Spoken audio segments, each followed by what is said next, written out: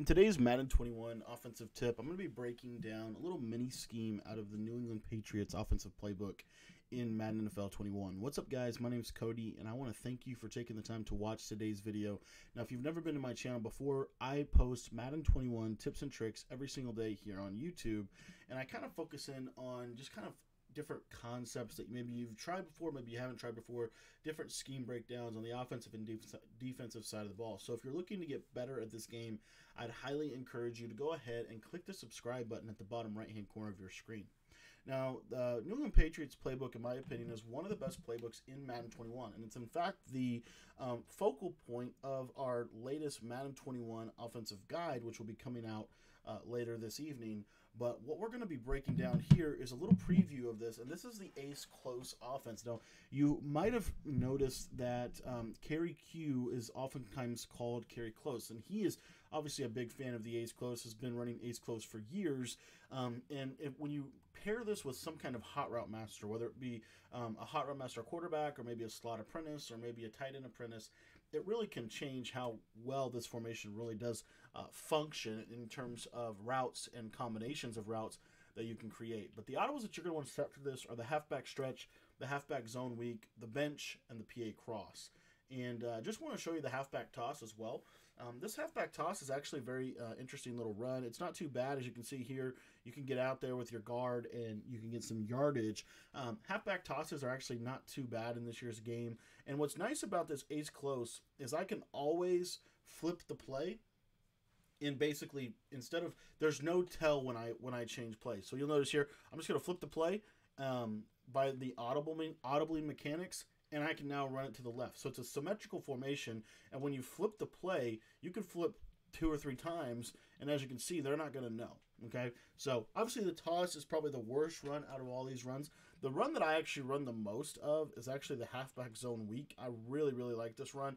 Uh, I think this run is very difficult to shoot uh, with your user, especially because most people are going to be standing in the middle because they're going to be expecting you to run stretch. You run this halfback zone weak, and uh, you get fairly good blocking.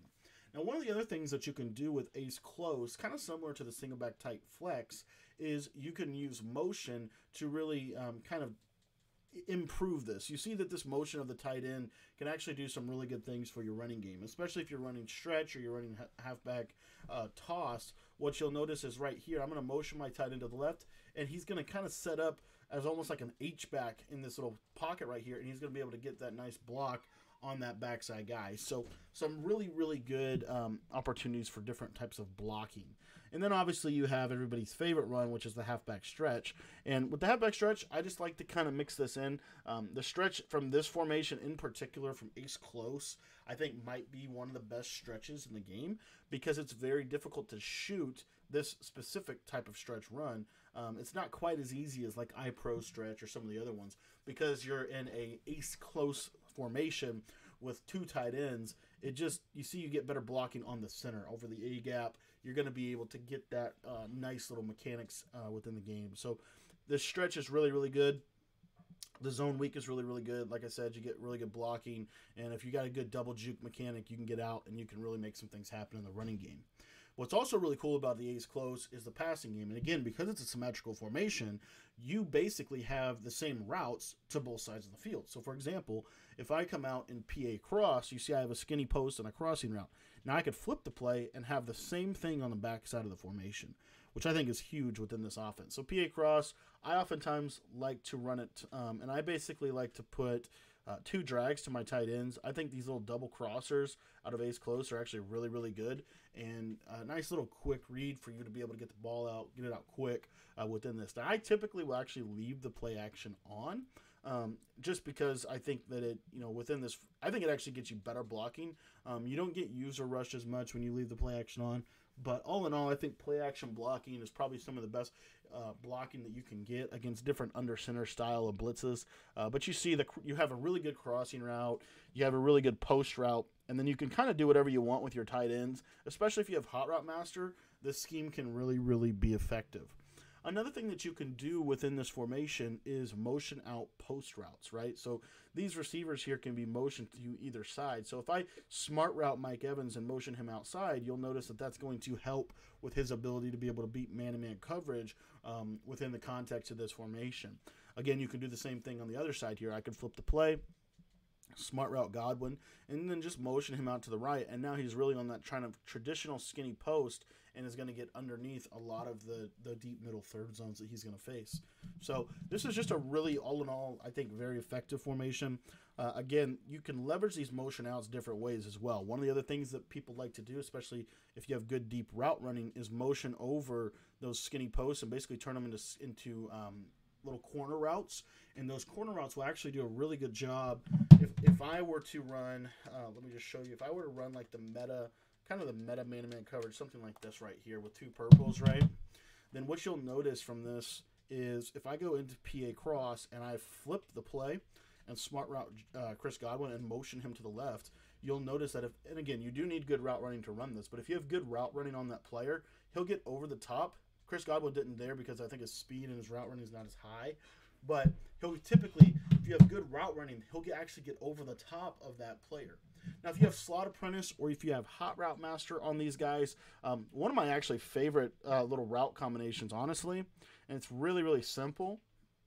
Just put both of these guys on hitches and put your tight ends on little um, little flats, and you're basically going to run curl flats compressed, and you'd be surprised at how good this actually is. Um, I think it's very, very effective. So, and then you could obviously, if you wanted to, you could do something like this, right? You could take your tight end, you could put him on a, uh, a flat zone, and then you could put your slot receiver here on a hitch and then a simple motion over of Mike Evans, and now you have basically gun bunch, right? One of the main con- main concepts from mesh post. You can basically run that within the context of the ace close offense. So some really really good things that you can do.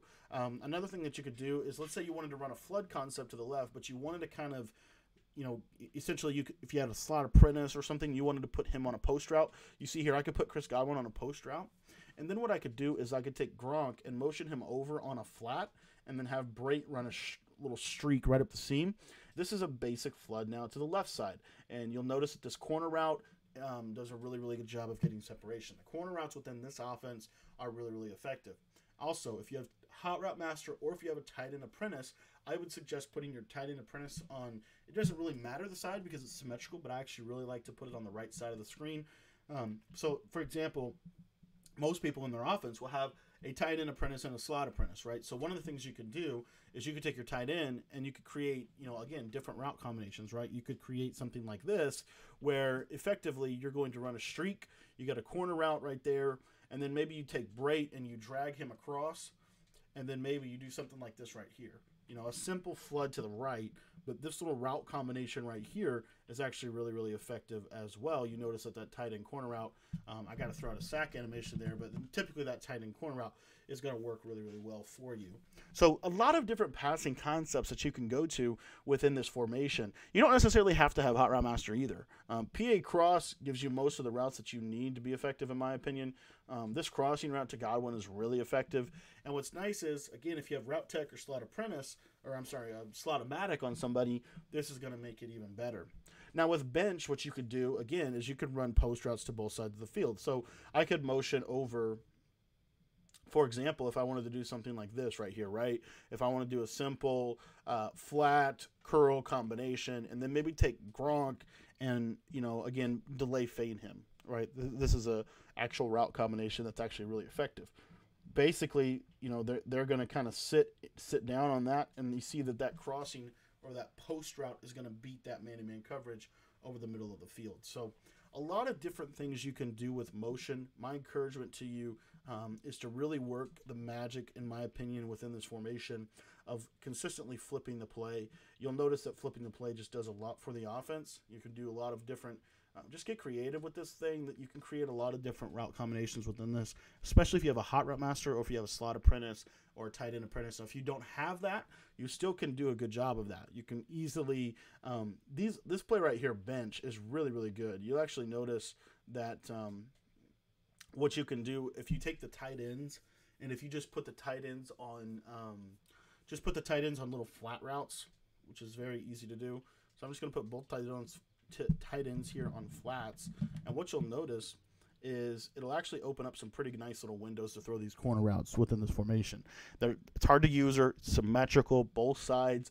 You can mix in these these runs uh, within this, and it's actually a really, like I said, it's it's kind of a formation that's quote unquote designed to run the ball, but the passing from this I think is really really good. And never ever ever ever ever uh, forget to run something like this concept that I'm about to show you.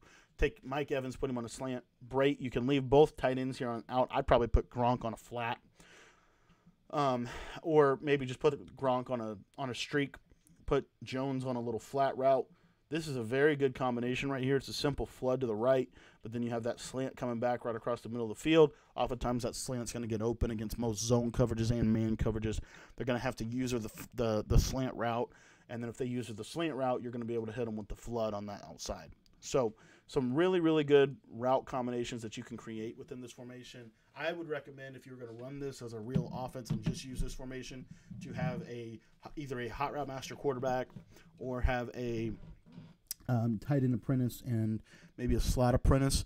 In MUT, it's actually very, very common for a lot of offenses, and I run the same thing, where you have a tight end apprentice, a slot apprentice, and a backfield master and that's pretty much all you need to create all the routes that you need to do and all the route combos that you need to create within this. But a tight end apprentice allows you to do some, just a few more creative things. For example, what you could do is you could go to the play PA cross, and then you could flip it and basically take your tight end, put him on a crossing route like this right here, and then run a simple little curl flat concept right here, just like this. And then I would just motion out Godwin, and this this concept is killer. I mean, this thing this is basically, you know, trips tight end within single back ace close. So some really good passing concepts that you can create within this formation. Um, I think the runs are really effective as well. They're going to do a good job. So I just wanted to share this little single back ace close formation. Now we break this full formation down as well as every formation in the New England Patriots playbook. Right now, as it sits, the guide is over 200 pages long. We might even have to do two volumes of it, installments, um, just to get you all of the material. But uh, that guide is set to release tonight at 10 o'clock p.m. Eastern Time. We'll have several hours. I think right now, as it sits, we're over four hours of video content. We're not even a quarter way through all the filming. I'm going to do all the filming for this today. But um, some really, really good material in that guide. And I'm just telling you right now, it's definitely going to be worth every penny. Um, it's very, very in depth, very detailed, and very effective, and it's going to really help you. And we're not just covering the New England play, playbook, we're actually going to be covering um, different principles, different concepts that actually transfer to any playbook that you run, and talking a little bit more about philosophically what is offense, how do you how do you actually get to where you want to go with an offensive scheme. So, uh, really, really excited. I think it's going to be my best guide I've ever written, and I think it's really going to help a lot of people. So, if you want to pick that up, all you got to do is just shoot me a text. Let me know you want to receive it. Um, and once it comes out, I'll shoot you a link where you can go pick it up. Again, my number is 812 216 3644. We also have a text message membership that you can join if you're not interested in the guide, but maybe you're interested in some more exclusive and high level Madden tips. Uh, I do weekly tips to my text message members, and all they have to do to sign up for it is just shoot me a text message. Uh, again, my number is 812 216 3644. But by shooting me a text message, basically what that means then is every Monday afternoon or evening, I will sit down and I will shoot out text messages to my my uh, my guys, my members, and they'll receive uh, typically you know 45 minutes to over an hour uh, of different types of schemes. Maybe it's a gun bunch uh, scheme. Maybe it's a Minnesota Vikings ebook that we did. Maybe it's a you know Arizona Cardinals uh, mini scheme that was showing you some stuff out of that air raid ebook. Um, different things like that. We actually have over an hour and I think 45 minutes breakdown on the big nickel over G, both run defense out of it and a pass defense out of it um, that you can utilize. So if you're looking to improve your game, if you're looking to take your game to the next level, I would highly encourage you to join the text message membership. That link is in the or the my number is actually listed in the description for you as well. And if you have not joined the Discord yet, that link is also in the description of this video. Now we've got three more videos coming for you today. One at four o'clock, one at six o'clock, and one at eight o'clock p.m. Eastern time. So be sure to be subscribed to the channel so you can catch that footage. And then we'll also be live streaming tonight at 10 o'clock p.m. Eastern Time on our YouTube channel. I want to thank you so much for your support. And you can check out some of these videos that you might have missed right here on the screen or maybe to the right of the screen. And we'll see you back here in a few hours.